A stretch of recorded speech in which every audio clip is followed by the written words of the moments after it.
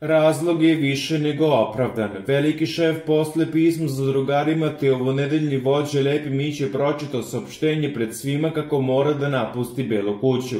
Dragi zadrugari, pravila su ovakva. Mićić je samo otići u prodavnicu i uzeći sve na veresiju, pa će probati da vam proda pisale u saopštenju.